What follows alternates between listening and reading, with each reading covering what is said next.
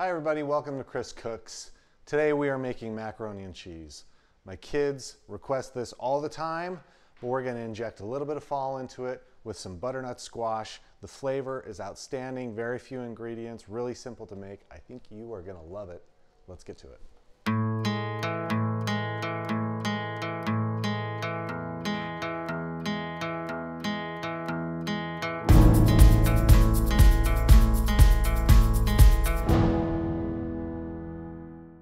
First step to this that I take is optional.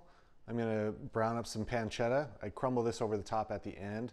Great addition. You don't have to do that, but uh, awesome flavor. You could also just do bacon if you wanted to. That's gonna go straight into our pan. We'll start rendering that out, medium heat.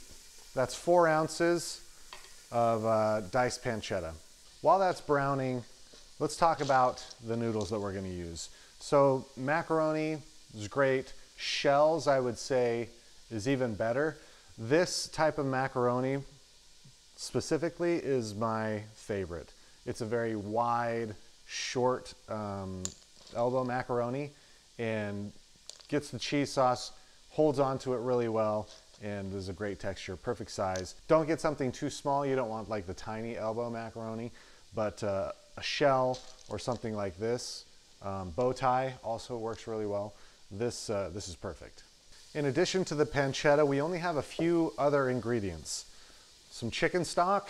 Um, I use bone broth. I feel like that gives it a really nice consistency. Butternut squash that has been cubed up. This is like half of a butternut squash that has been chopped up, you know, maybe two to three cups of that. It does not need to be exact. It's really however much you want to add in. I have some aged sharp cheddar cheese here and then also some cream cheese. And a lot of this is just step by step. So we're waiting for the pancetta to render down, just takes a little bit of time.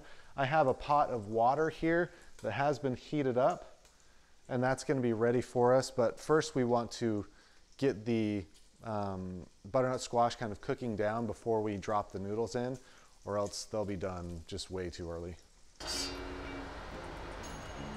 into that pan directly. We're just gonna go in with our bone broth. Deglaze that pan a little bit, get all of the cooked on bits, and then in with the squash. Kick the temperature up. With the squash in there, we've now turned that to high. We're gonna bring that to a boil. Lid on, we wanna cook that squash down so it's nice and tender. And as soon as that comes to a boil and is starting to cook down, that's when we will drop our noodles. Add about a half a cup of water, and that should give us what we need. Pasta water should always be seasoned because um, that's how you're gonna get seasoning into the noodles themselves. So salt, a couple good pinches of that, probably two tablespoons. Of course, it'll depend on the size of pot, but you want the water to taste like the ocean, as they say. White wine vinegar, that's just gonna be, you know, however much, one to two tablespoons. And then also some olive oil. That adds a little bit of flavor, but also helps the noodles not stick together so badly.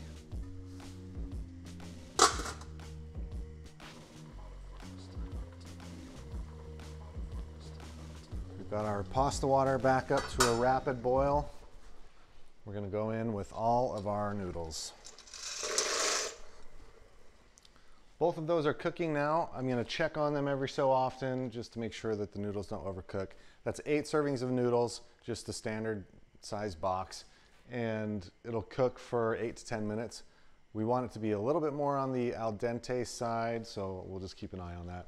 The squash, that should also only take like five to 10 minutes. So we'll watch that as well. In the meantime, we will grate our cheddar. For this, you need just about a quarter of a pound of a good aged cheddar cheese because that squash is gonna help as our thickener. That's all grated. This should be all that we need. I'm gonna keep the rest of this cheese out just in case I need a little bit more to get us to that right texture, but I think we will be fine. I don't want the stock in here to reduce down too much. So Now we're gonna, now that that's at a pretty rapid boil, we'll drop that down to medium, medium high. Cover to keep as much of the moisture in there as we can and let that finish. Test the doneness of our noodles. Yeah, those are done. So we will turn the noodles off. Jules bought me this pasta pot, ouch, years ago. And I love it so much. We'll Just let that strain for a little bit. Use the back of a spoon, kind of press that down. It should mash pretty easy. Heat off. For the squash, just gonna tilt it on its side. Take our immersion blender and blend all that up.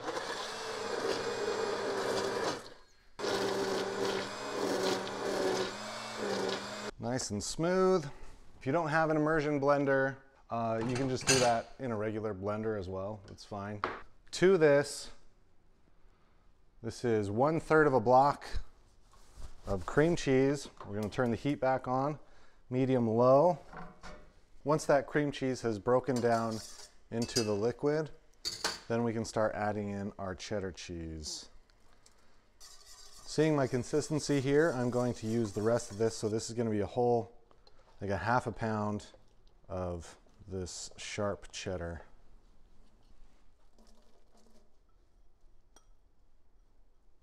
There is one more ingredient I forgot to mention, and that is heavy whipping cream. Doesn't need much, maybe like two tablespoons, but that's really gonna help us get, get that creamy texture.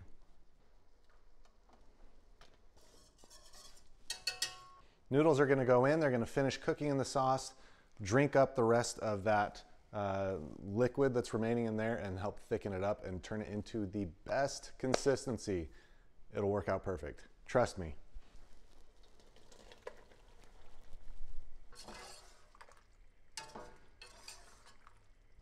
Up to this point, I have not added any seasonings into the sauce itself. Cheese has a lot of salt. Uh, the noodles are bringing their own salt, and so we're going to taste it now for the first time and adjust if we need to. No seasonings required.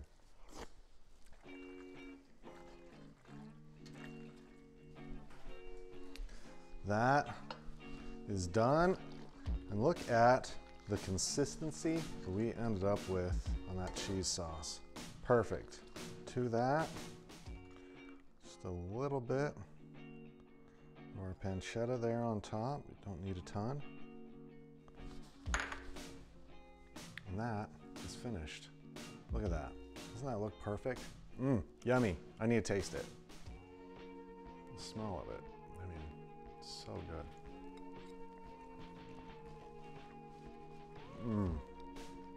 Mmm. Yo. That's so good. Mmm. It's the perfect mac and cheese.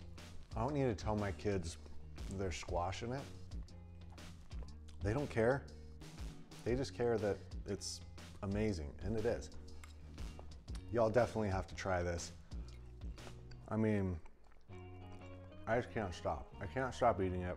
Let me know in the comments what you think. If you give it a try, would love to hear about it. Make it for somebody that you care about. It's the perfect consistency.